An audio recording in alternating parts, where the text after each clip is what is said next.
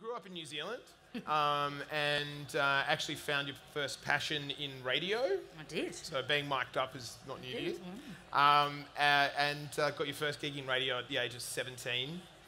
Um, you then moved to the other side of Australasia and with your with your parents at a pretty young age and landed in WA. Uh, you know, a foreign, foreign girl in a foreign land. Um, and in actual fact, got a gig in radio in Geraldton, which is Mm. a very small town in the middle of nowhere. Um, you've said that it was here that you say you learn about the importance of resilience and adaptability. Tell us a little bit about that experience and Mm. what that life lesson was about.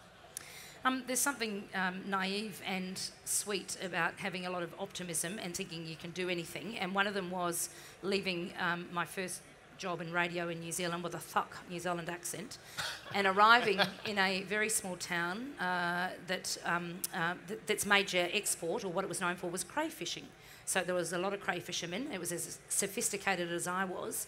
Uh, and and I got a I got a gig in radio. They were really really desperate in this small town, and I had an incredibly thick New Zealand accent, and they hated it. They absolutely hated it. Um, so they they weren't particularly welcoming. So I had to learn very quickly that I needed to pivot and adapt. So I um, you know went about learning this Australian whining, drawling sort of which at the time was really difficult. And I was fine. I did it, uh, you know. And I sort of thought, well, if I can do that, I can, you know, get through most things. And I was okay until I'd either get pissed, not pussed, or I was around other Kiwis, and then I'd just go straight back into the accent again.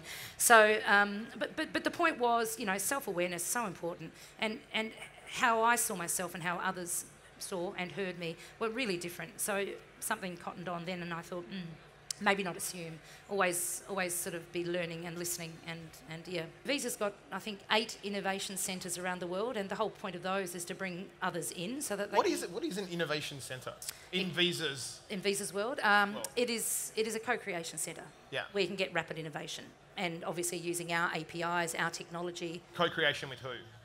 with Visa.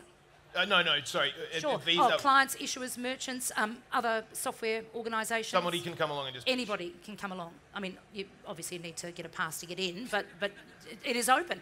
I, I mean, v, the Visa Net, which is the technology, the rails that uh, underpins our business, uh, is the, the whole purpose of that is it's an open, scalable, massive technology platform. Yeah. And- when did Visa start this process of opening up? I think there's a mm. perception that big mm. companies are closed mm. networks. Yeah. It's kind of an important message to get out that Yeah. Visa's open for business to the developer community. Absolutely. Therein lies the opportunity that I have, uh, which is why I'm at Visa, because Yeah. most people think Visa issues credit cards or sets rates and fees. We don't. We don't have anything to do with that. Issuers, banks, financial institutions do that. What Visa does is powers the network, allows the payment to take place. Uh, we process 65,000 transactions a second.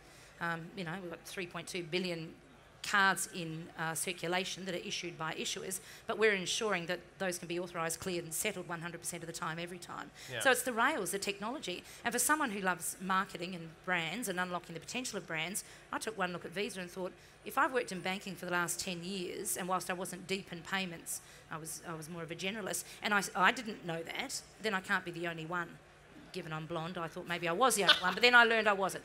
So the point is that there is so much to the Visa story that's yet to be told. So watch Yeah. the space. So a lot of people don't know that VisaNet is what it is and what it actually allows. So we've just created a new campaign. It's called That's the Future We're Working On, and it's absolutely about the Internet of Things. Um, it's not too far away before your, your car is connected to, to payment devices, as will be your fridge. Um, we've already got wearables happening. Biometrics are almost here. Uh, so, so being able to tell that story and educate the marketplace and bring our issuers along with us um, is probably what I'm most excited about. The two young guys you saw up here earlier, um, Will and Mitch, uh, who are sensational boys, um, they've formed a band called Side. Um, we heard their song, we loved it. That's the future we're working on. So we've licensed their, their music to play on, on all of our ads going forward, just to help them, obviously. Um, not that they need much help, they're, they're pretty cool, but if anything, they might help us with some cool factor. But uh, uh, They did win Triple J Unearthed. I, know, Well, did they win it? I voted for them. I don't know whether they've won. Did they? Oh my God. that- that's what we're calling it. Well, they should. what we're saying They should have won. Good. Love it.